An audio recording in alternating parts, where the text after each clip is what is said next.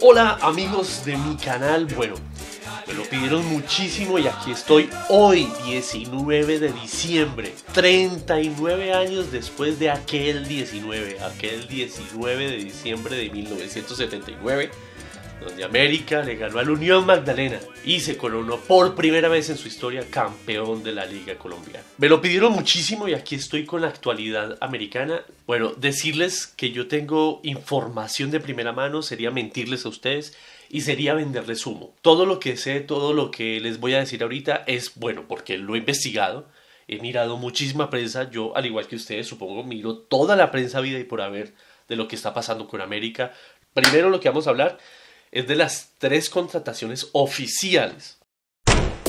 Hablemos primero de Marlon Torres, exjugador de Bucaramanga, barranquillero de 22 años, derecho, 1,80 metros. Bueno, ese es un defensa que aunque no es muy alto, pero va muy bien de cabeza. Lo, lo, hizo muy bien con Bucaramanga. Tiene un muy buen porcentaje porque vi las estadísticas de él. De tres veces que va por el balón, dos las hace bien. Es decir, que tiene un promedio de más del 85% de interceptación del balón, cosa que es muy positiva. Necesitamos un defensa así, estilo Werner.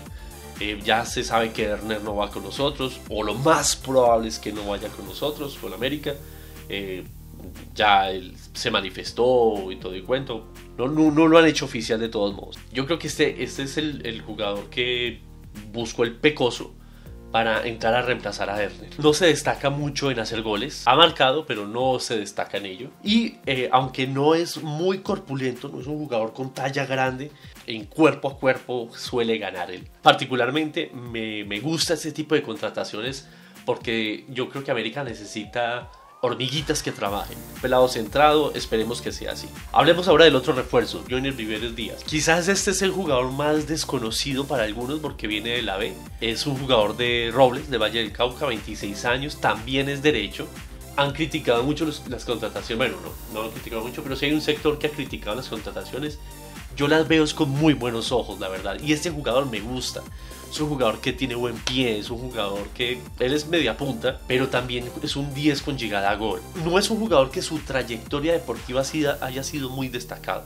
Se destacó este año que, que pasó, el, este año 2018, que ya está terminando, se destacó muchísimo en el Luis Magdalena. Esperemos que tenga su continuidad con América. Yo creería que sí al lado de Pecoso yo creo que el pelado puede rendir muchísimo. Mm, yo creo que es un reemplazo de Carlos Lizarazo. Creo que el Pecoso lo busca más por ese lado porque Carlos Lizarazo, a, a, a las últimas noticias hasta ahora que ha salido de él, es que lo más probable es que rescinda el contrato con América y se vaya a Once Caldas. Eh, que me pareció honesto, lo dio la talla en el América, me refiero a Lizarazo. No sé si le quedó grande la camiseta, no creo. No tuvo la suerte, si no continúa con América, los mejores éxitos. Pero este pelado que viene, Johnny Riveros, yo creo que es un buen reemplazante a Lizarazo. Pero este Johnny Rivera es un pelado callado que ha hecho el trabajo que, que yo creo que le aporta muchísimo a América. Tengo fe en ello.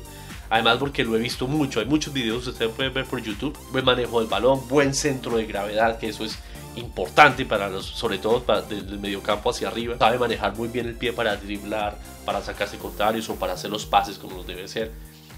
Ahí es donde uno dice que tiene buen pie.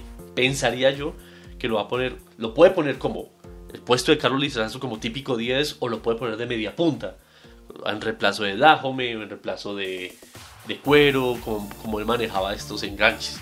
Yo supongo que Quiñones Saya sigue, entonces sería un buen recambio, uno por una punta y el otro por la otra, o retrasado hacia el centro, o haciéndole compañía a Jesús Cabrera.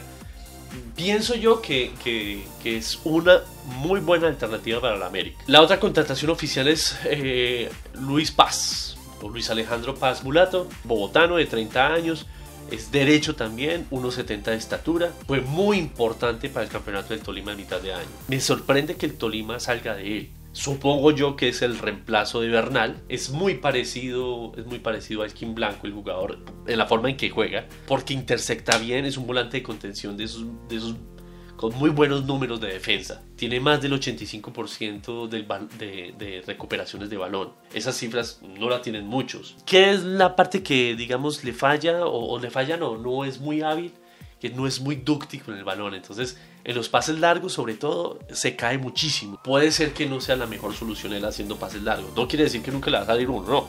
Puede que sí, pero no es muy dúctil con el balón en pases largos. Tampoco es que sea la maravilla en pases cortos, pero tampoco tiene malas cifras en pases cortos. Es fuerte en el cuerpo a cuerpo. Si, si él va a luchar cuerpo a cuerpo con alguien, generalmente él siempre gana. Eso es un jugador que no tiene mucho porcentaje de amarilla, entonces es bueno para eso. Es bueno, se ve que, que sabe quitar el balón, sabe ir al cuerpo, sabe chocar sin necesidad de, de cometer faltas fuertes. Como si a veces pasa con el Kim Blanco, a, muchísimas veces con Bernal a niveles Rivas ni hablar. El Pecoso lo, lo llaman más que todo, o lo, lo requieren más que todo para hacer el, inter- el, el recambio por Bernal, porque Bernal es otro de los jugadores que se cree, no se ha hecho oficial hasta hoy, 19 de diciembre, que continúe con América. Ahora, los que suenan, el que más suena, el que es casi que una contratación, casi que es un secreto a voces, Arlet Cadavid, Tocayo, Arlet Cadavid Valencia, jugador de Girardot Antioquia, un 80, 27 años.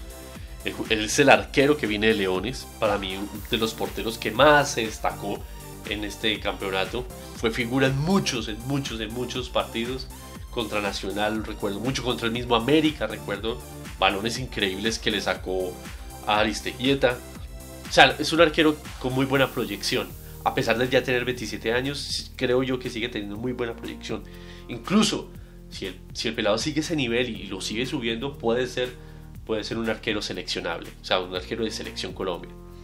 De pronto me estoy apresurando y de pronto me vengo arriba, pero, pero ojalá pues, eh, el pelado siga mostrando esas condiciones que demostró en Leones. Y pienso yo que si continúa Bejarano, porque ahorita están saliendo que Bejarano que para el Santa Fe y que yo no sé qué, eh, creo que le va a competir fuertemente la titularidad a Bejarano. No va a ser impuesta, sino que le va a competir. Pienso yo que el Pecoso le va a seguir dando la, la titularidad a Bejarano, pero va a poner a probar al pelado. Es, es de esos arqueros que manejan muy bien el área. O sea, no es solo un buen arquero bajo los tres palos, sino que sabe achicar, sabe leer las jugadas de ataque del equipo contrario, eh, sabe salir, sabe cerrar el ángulo. Es un, un arquero que, que se proyecta muy bien en eso. Por eso creo que le va a pelear la, la titularidad a Bejarano, porque Bejarano sí falta en esas partes. Yo me puse a ver las estadísticas del jugador, tiene muy buenos despejes, tiene más de dos despejes por partido, tiene una efectividad de atajadas del, sete- del 70%, es decir, que tiene buenas estadísticas. Bueno, y lo bueno de este jugador es que en los saques, cuando él lo tiene y hace saque largo, suele tener un muy buen saque largo. No es muy dúctil con los pies, jugándola entre defensores y él, pero sí sacando largo, que eso puede ser muy provechoso para los contragolpes del América. Bueno, el otro jugador es Cristian Marcelo Álvarez, el Jopito, el, el jugador que pudo venir a mitad de año, pero que no se pudo por esta disputa con el Cúcuta Deportivo. Es de Buenos Aires, Argentina, 1,74 de estatura, 26 años.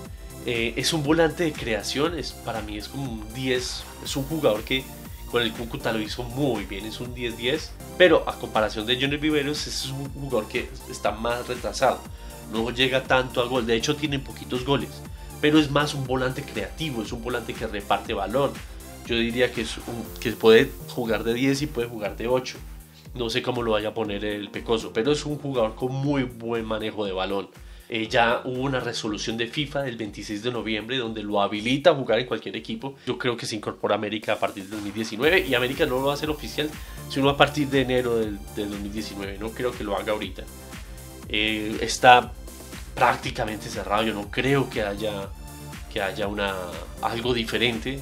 Sería ilógico que se cayera esta contratación o que se fuera para otro equipo. No creo. Yo creo que América desde que ascendió a la A le hacía falta un jugador así, de este estilo. Y bueno, esas son las contrataciones de las cuales yo les puedo hablar, eh, que he investigado, que he visto a los jugadores, me, me he detenido, por eso me, me, demoré también tanto en sacar un video, de, mirar bien los jugadores, de no llegar a decir cosas imprecisas, puede, puedo haberlas dicho, pero tratar de ser como lo más preciso en las contrataciones. Bueno amigos, este ha sido mi análisis de los jugadores. El próximo video que va a hacer es un reto.